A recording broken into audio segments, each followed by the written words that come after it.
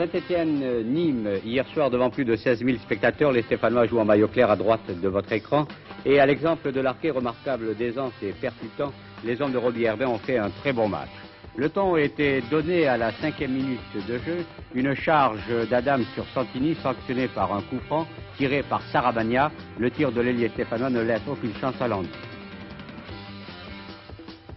Les renversements de jeu se succèdent. Les Nîmois, sous l'impulsion d'un Pierre Calab euh, très entreprenant, vont égaliser à la huitième minute de jeu. Suivez bien cette action. Iniesta va se démarquer et va centrer. Iniesta file le long de la touche.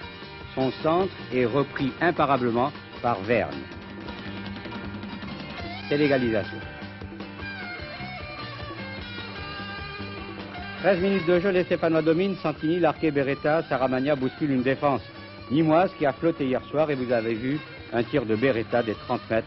C'est le deuxième but stéphanois.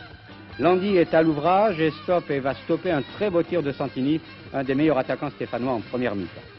28e minute de jeu, Beretta déjà en grande forme, s'infiltre dans la défense et vous l'avez vu, a décoché un tir dans le coin. Landy est battu pour la troisième fois.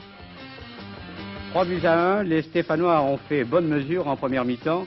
À la reprise, le jeu a légèrement baissé. Les Nîmois ont bien tenté quelques percées. Elles étaient enrayées par Broissard, Mercadier, Piazza.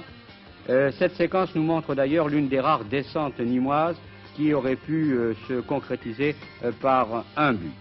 Mézi, vous allez le voir, va dribbler la défense stéphanoise et son tir va passer de très peu à côté des buts défendus euh, par euh, Kurkovic, le nouveau portier euh, stéphanois.